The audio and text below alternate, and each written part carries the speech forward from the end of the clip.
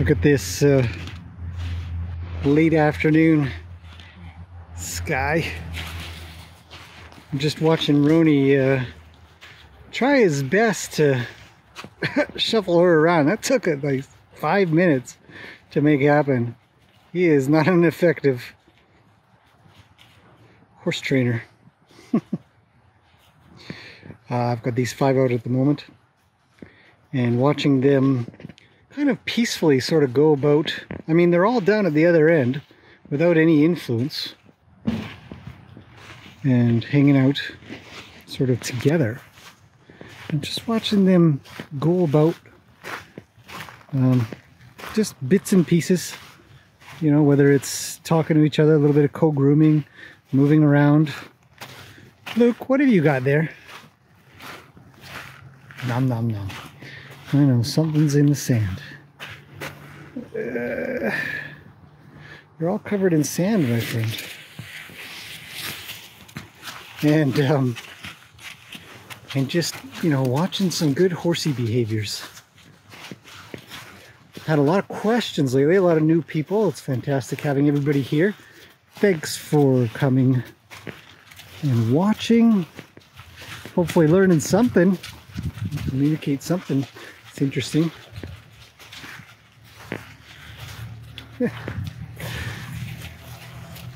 And uh, a lot of questions. And I had a really good question come through. And it was, I have kids and I want them to learn how to ride. Do you have any suggestions? And I do. I do have suggestions. Actually, I had another. Hit him, kick him in the chest. Good job. You really uh, swung that around. Yeah, you were fantastic. And um, I have some great advice, really, or at least I believe I do. Stop digging up my arena, especially when I'm hanging around with these two crackers. Anyhow, my um, I had an email as well from a lady that had some grandkids to bring by for a pony rider kind of thing. They want to experience horse riding. And I declined. And I said, there's lots. Who wants to scratch this? Nobody wants to scratch this, Lena. Maybe just this white part over here, but not this part.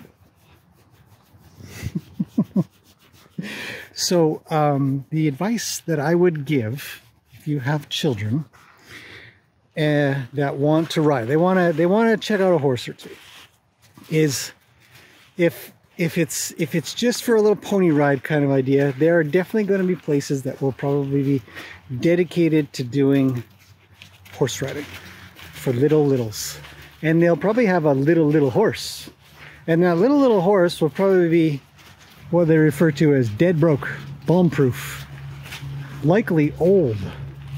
You know, I don't know about old old, but old enough that they could cart around a 50 pound kid or something. And if if you're looking for the short term sort of God, look at that sky. Short term, you know, I want to see if my kid likes horses at all. That's not a bad idea.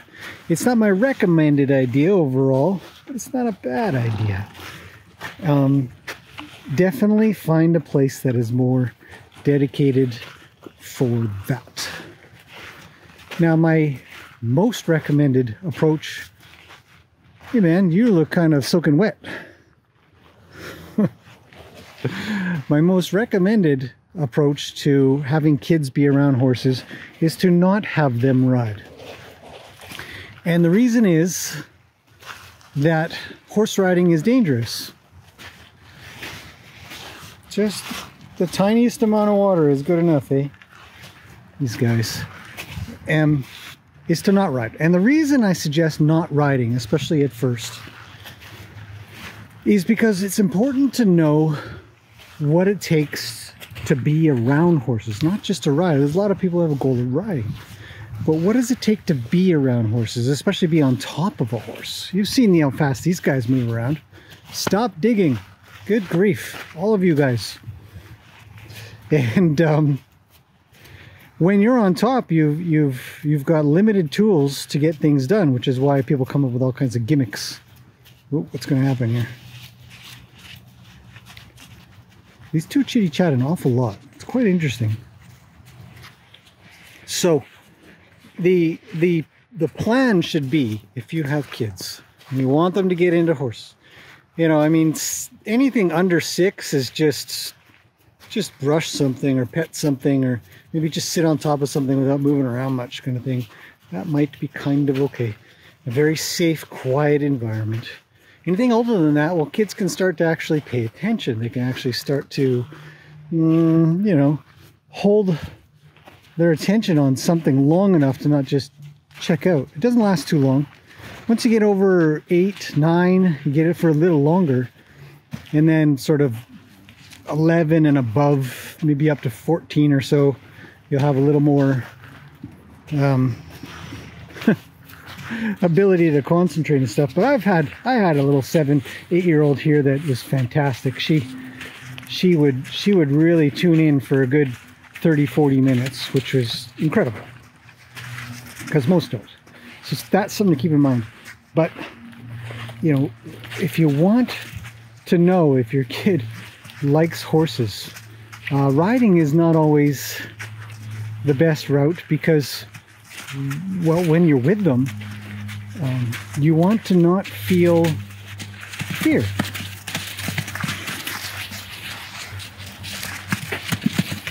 That was a nice one. And uh oh I gotta back up just a smidge here.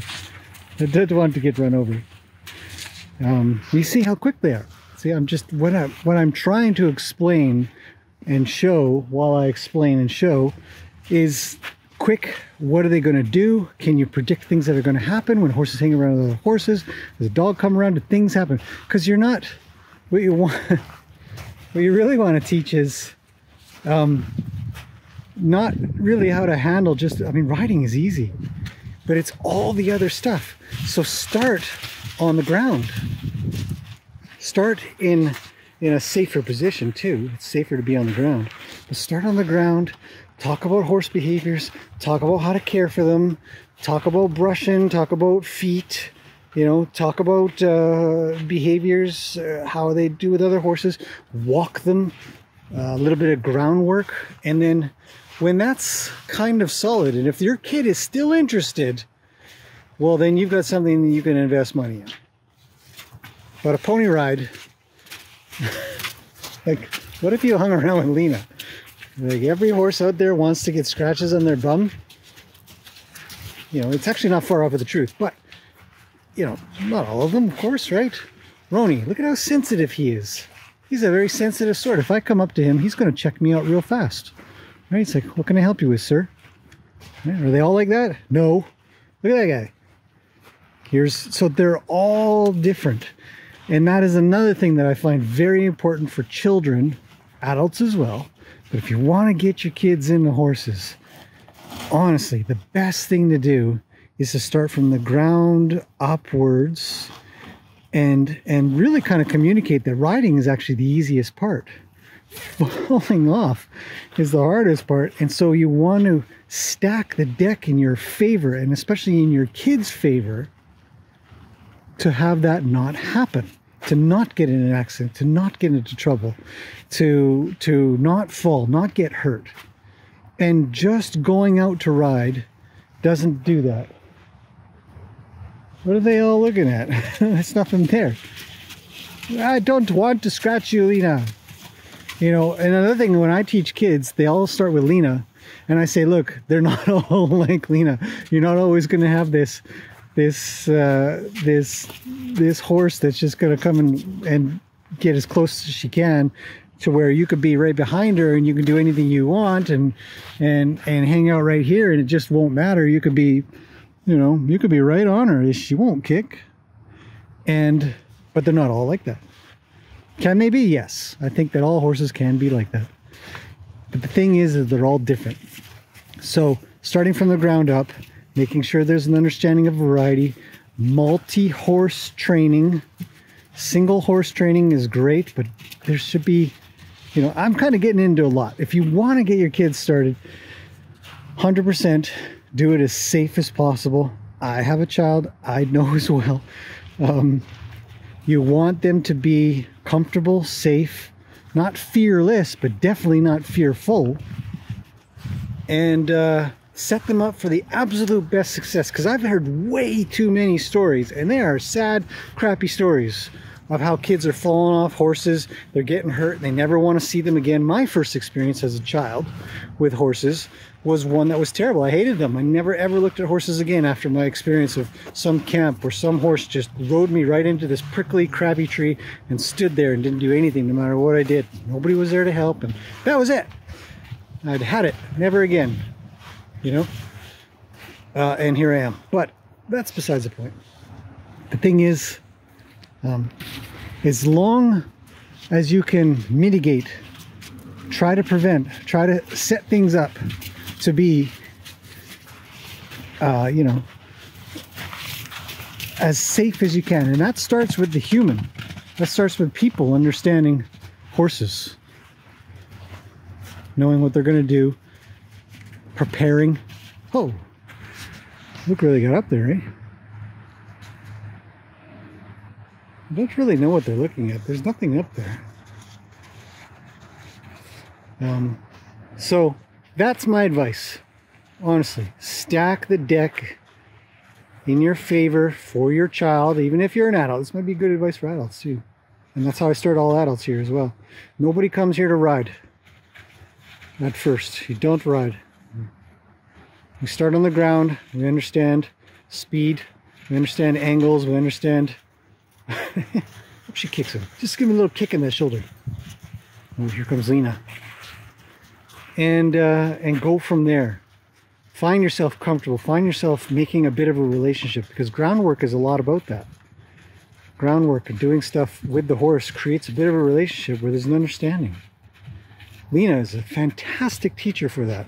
I wish I could do a video lesson where I could show what Lena does for me and what she does for others. Uh, maybe I'd put, maybe I could put Haley in that. Mm, I don't know if she'll like that, but she is so smart that she will, she will get. I mean, she was free for a reason because she knows how to work people, and it's the relationship that a child or an adult will build with a horse that will define the riding, how it will go. And uh, and I truly do think it's the safest way to uh, to go about uh, learning about horses and with the end goal of riding horses. So that's my advice. Bit of a long monologue. I expect this will only be about five minutes, but here we are. 13 minutes in. Any questions, let me know anytime. Um, I know it's a little bit more of an investment that some people are kind of willing to do. Uh, but uh, for the safety of the child, for the long-term, you know, investment that you have in your kids' education and health and all that, you know, don't rush it. There's no rush. Riding's easy. Riding is super easy. I mean, relatively. Keep your balance and stuff. Once you get that stuff done on the ground, you get horse behaviors figured out. You understand how to make them go, stop, turn, change gaits, all from the ground. Once you're in the saddle, it is just second nature. And you're just keeping your balance at that point. You're not concentrating on everything at once. Okay, I've monologued for long enough. Hopefully this has been interesting as we watch these five sort of mill around and do their thing. Look at them all lined up like ranch horses.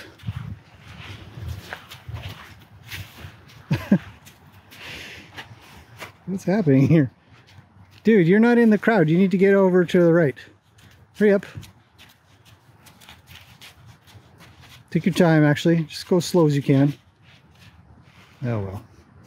So, there's my, there's my crew. That's it. He's so adorable. Look at this guy. Check. Well, how do I get in? You don't. Okay, that's it. I'll see you guys in the next one.